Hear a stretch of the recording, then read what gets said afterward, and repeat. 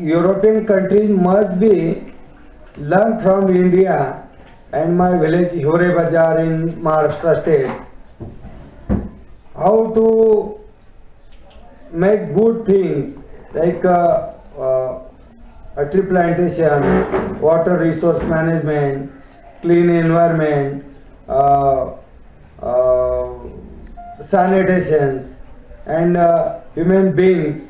A good future for human beings. Before development in my village, the 90% villager migrate to serve food and employment. Now South, South African migratory birds, they migrate from South Africa, Africa to my village. This is the, my message to European countries.